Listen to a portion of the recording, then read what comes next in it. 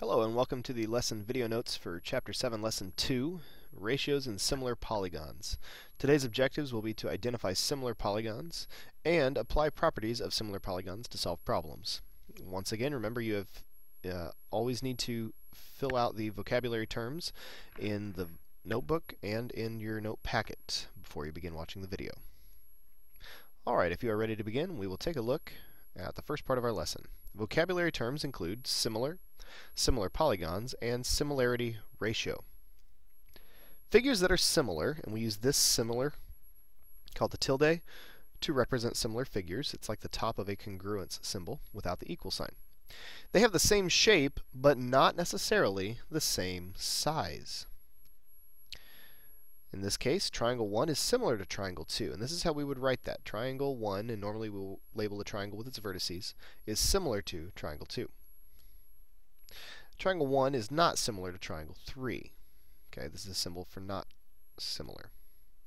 So, let's talk about similar polygons. Two polygons are similar polygons if and only if their corresponding angles are congruent and their corresponding sides are proportional.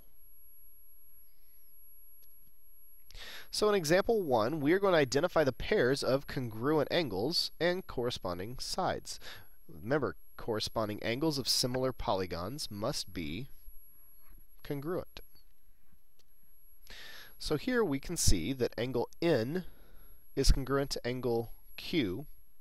They're both right angles, so they must be congruent. And angle P is congruent to angle R because they're both 63 degrees. By the third angles theorem, angle M is congruent to angle T. So writing these three pairs of congruent corresponding angles satisfies the first part of the instructions. The sides that correspond would always be proportional. So I'm going to pick a side to start with in one triangle, in this case MP. It doesn't matter which side we pick first, but I'm going to start with the left one and then go to the right one. Again, it doesn't matter if you follow that order, as long as you stick with that order throughout the entirety of your problem. MP to TR, and write what that ratio is. 2.2 over 1.1 simplifies to 2. Then I'm going to pick another ratio of corresponding sides. If MP, which is the hypotenuse of this triangle, is proportional to TR, the hypotenuse of the other one, then the corresponding legs must be proportional. The longer leg, MN, would correspond to the longer leg, TQ. MN to TQ is 2 over 1. That is also 2. And then the shorter leg, NP, to the shorter leg QR, 1 to 0.5, is also the ratio 2. And so these are proportional. They all equal the same ratio, 2 over 1. A similarity ratio is the ratio of the lengths of the corresponding sides of two similar polygons. So if I said the similarity ratio of triangle ABC to triangle DEF the order is important there. We're starting with triangle ABC, then going to DEF. That would be 3 to 6, or 1 half. But if I change the order to the similarity ratio of DEF to ABC, we say that ratio is 6 to 3, or 2. So the order in which you label your figures determines the order in which you label your ratio. Writing a similarity statement is like writing a congruence statement. Be sure to list the corresponding vertices in the same order.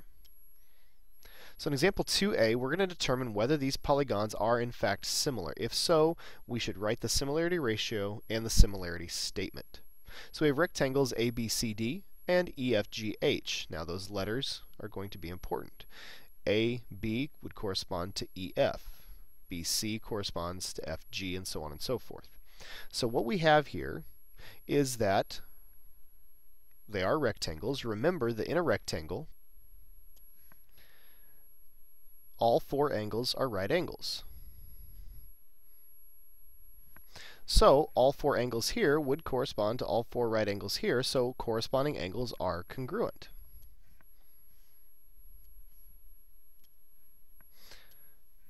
All angles of a rectangle are right angles and are congruent. So we can say A is congruent to E, B is congruent to F, C is congruent to G, and D is congruent to H.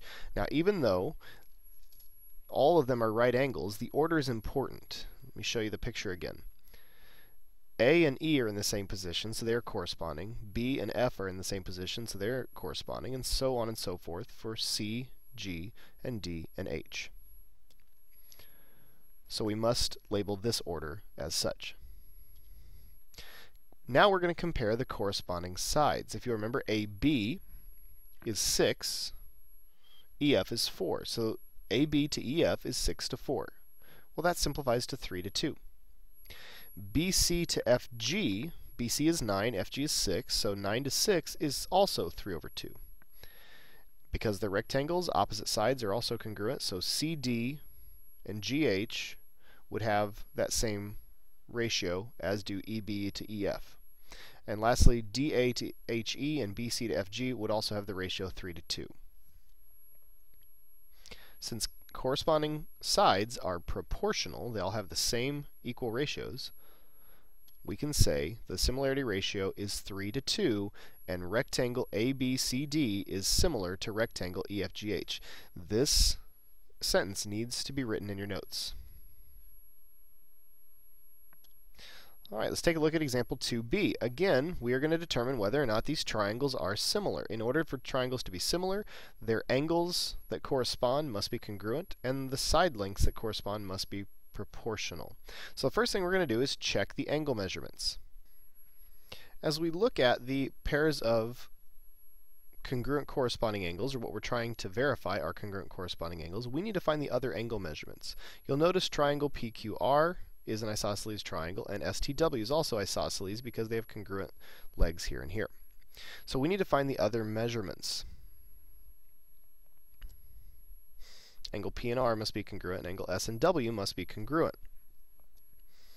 So measure of angle P and measure of angle R must be half of the difference of 180 and 36. I do 180 degrees minus 36 to find out what the sum of these two would be, and then divide it in half. So each angle measures 72 degrees for P and R. But you'll notice the corresponding angle to P is S, which is 62 degrees. The measure of angles W and S are 62 degrees. That means the measure of angle T is 56, which is not the same as 36. So no pairs of angles are congruent that means these triangles cannot be similar. We don't even have to check side lengths. Even though the side lengths are proportional here and here, the angle measures are not congruent, so these are not similar triangles. When you work with proportions, be sure that your ratios compare corresponding measures. Don't get the orders mixed up. So in our last example of this lesson, we are given a situation where we have a model car fashioned after a full-size race car. The full-size racing car has a length of 5 meters and a width of 1.8 meters. The model has a width of 6.3 centimeters, but the length is unknown. So we need to find the length to the nearest tenth of a centimeter. Remember, that will mean one decimal point. We're going to let x be the length of the model in centimeters. The rectangular model of the racing car is similar to the rectangular racing car itself, so the corresponding lengths are proportional. So we can set up a ratio of length to width of the model, which would equal length to width of the racing car.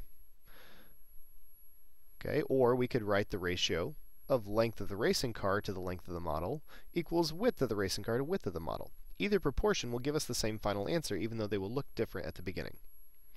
So if I compare length to length, that's 5 to x. If I compare width to width, that's 1.8 to 6.3. This ratio would be the same as the one we mentioned earlier. So the next step is to cross multiply. Remember to solve proportions we set the cross products equal. So we're going to say that 5 times 6.3 equals 1.8 times x. So we're going to start by simplifying 5 times 6.3, which is 31.5. And then I can divide both sides by 1.8. So x, in this case, to the nearest tenth, would be 17.5 centimeters. Now I mentioned we could solve another proportion and get this same answer. If I compared the length of the racing car to the width of the racing car, That would be 5 over 1.8. That should still equal the length of the model to the width of the model. The length of the model is x, the width of the model is 6.3. This is a slightly different looking proportion, but if you solve this, you will still get 17.5 centimeters, because we're still taking the same cross product. I'm still multiplying 5 times 6.3, and still multiplying 1.8 times x. We still get the same cross products. So that's how we get the same final result.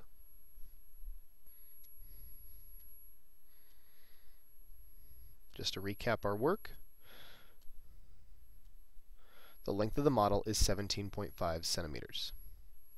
And that concludes our notes for lesson 6 or 7.2, excuse me, chapter 7 lesson 2. And you'll notice this video is a little bit shorter. Um, but again, we're just applying the proportions from lesson 7 1 into similar figures. Remember, for figures to be similar, for polygons to be similar, their corresponding angles must be congruent, their corresponding side lengths must be proportional.